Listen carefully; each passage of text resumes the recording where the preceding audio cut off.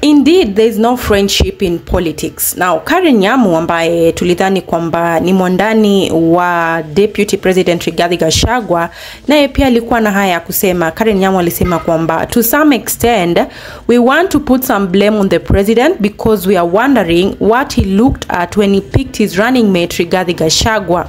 In future, I want to call upon presidential candidates to make it a very critical attribute of their running mates to have a political maturity. Karen Nyamu amezungumza. And sowing seeds of tribalism in Nairobi is very, very dangerous.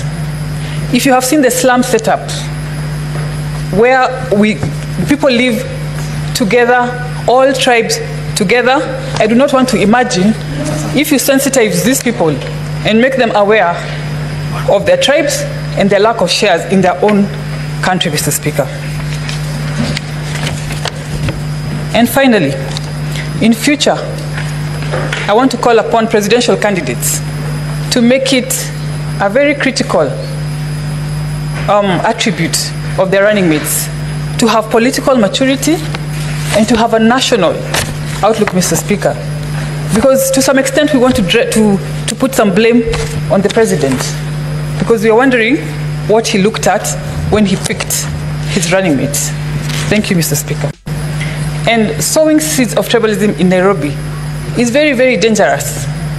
If you have seen the slum setup, where we people live together, all tribes together, I do not want to imagine if you sensitize these people and make them aware of their tribes and their lack of shares in their own country, Mr. Speaker. And finally, in future, I want to call upon presidential candidates to make it a very critical um, attribute of their running mates to have political maturity and to have a national outlook, Mr. Speaker. Because to some extent we want to, to, to put some blame on the president because we are wondering what he looked at when he picked his running mates. Thank you, Mr. Speaker.